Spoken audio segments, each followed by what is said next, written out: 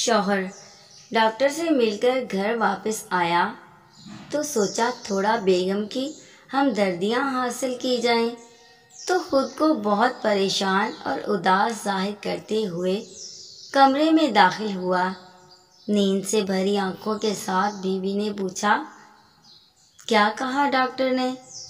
शौहर, डॉक्टर ने कहा है, तुम बस चंद घंटों के मेहमान हो।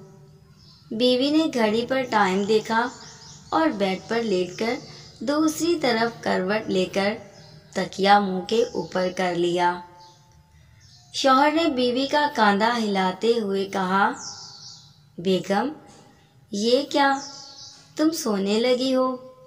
बीवी तकिए के नीचे से ही बोली, देखो, सुबह मुझे बहुत काम होंगे। तुम्हारे गुसल और कफन का इंतज़ाम करना है। कब्र खुदवानी है, टेंट और दरिया मंगवानी है। नमाज़ जनाजा के लिए मौलवी साहब को कहना है। मस्जिद में ऐलान करवाने हैं। तुम्हारे घर वालों को फ़ोन करना है। अपने घर वालों को बुलाना है। मुन्ने के स्कूल में छुट्टी की दरख्वास्त भेजनी है। इसके रिक्शे वाले को मना करना है देग का आर्डर करना है, वगैरह वगैरह। खुद तो तुमने सुबह उठना नहीं है, लिहाजा लाइट ऑफ़ कर दो, मुझे डिस्टर्ब ना करो।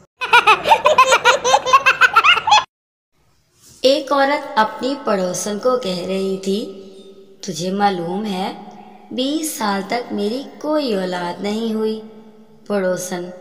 हैरानी से। फिर तूने क्या किया? औरत, फिर मैं इक्कीस साल की हुई तो मेरे पापा ने मेरी शादी कर दी। फिर जाके मुन्ना हुआ। पड़ोसन खड़े खड़े बेहोश हो गई।